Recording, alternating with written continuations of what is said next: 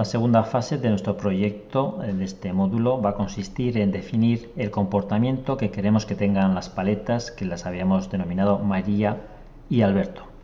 Vamos a concretar el movimiento de estas paletas a través de pulsar teclas.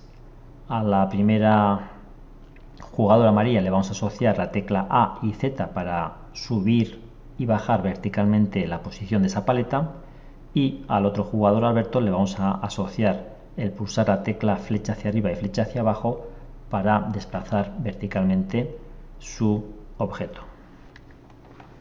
El script que hemos diseñado para llevar a cabo el movimiento de la paleta María es este que vemos en este bloque donde vamos a cambiar la posición I por 10 cuando queramos subirlo hacia arriba y bajaremos menos 10 cuando nos interese bajar verticalmente nuestro objeto amarilla. Para ello lo introducimos cada uno de ellos en este bloque de control solo cuando la tecla A sea presionada, en este caso no está presionada, cuando yo la presione como ahora pone verdadero, de manera que ese cambio de la variable i verticalmente 10, voy a pulsar A,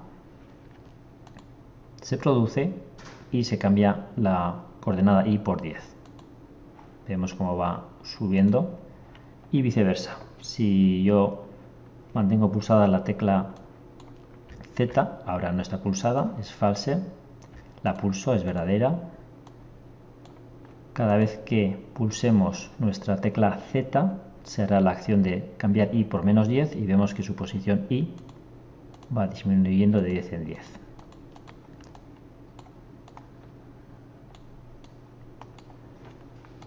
De manera que ahora con la tecla A subimos y con la tecla Z bajamos nuestra paleta María.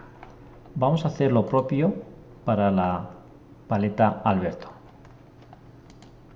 Para ello podemos copiar el código llevárselo a Alberto.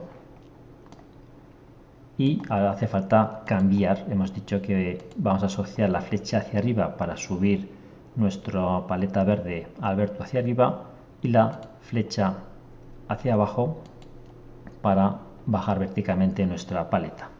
De manera que ahora al pulsar tecla verde lo que tenemos es que yo puedo bandera verde, puedo subir y bajar tanto el jugador María como el jugador Alberto.